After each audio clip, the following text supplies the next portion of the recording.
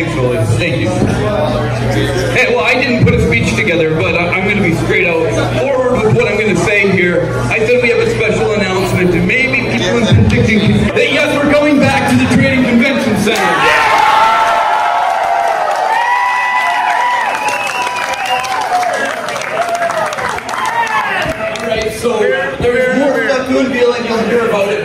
We've got names, we've got people coming, and we've got a lineup for this show.